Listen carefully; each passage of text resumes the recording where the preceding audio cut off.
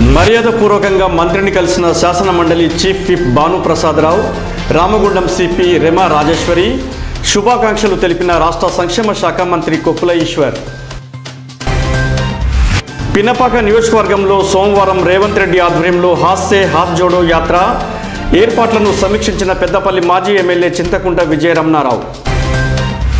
Peddapalli command సెంటర్లో bus షెడ్డర్లు లేక ప్రయాణికుల పాట్లు. జిల్లా కేంద్రంలో బస్ షెల్టర్లు బస్ బాయ్లు ఏర్పాటు చేయాలని విజ్ఞప్తి. పోలీస్ ఉద్యోగం రాలేదని యువకుని ఆత్మహత్య పెద్దపల్లి మండలం తురకల మధ్యకుంటలో ఘటన. నిరుపేద యువతి వివాహానికి జడ్పీటీసీ బొద్దుల లక్ష్మణ్ ఆర్థిక సహాయం కృతజ్ఞతలు తెలిపిన పెళ్ళి కూతురు కుటుంబ సభ్యులు.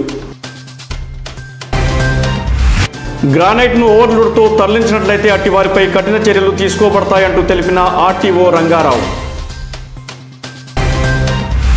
జిల్లాలో మంజూరైన పోస్ట్ మెట్రిక్ హాస్టల్స్ను త్వరలో ప్రారంభిస్తాము.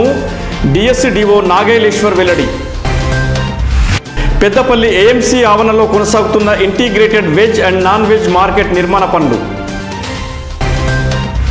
పెద్దపల్లిలో పద్దెనిమిదవ రోజుకు చేరిన బీఎస్పీ రిలే నిరాహార దీక్షలు. బీసీల రిజర్వేషన్లు పెంచే వరకు పోరాటం కొనసాగుతుందన్న జిల్లా ఇన్ఛార్జ్ మొలుమూరి చంద్రశేఖర్.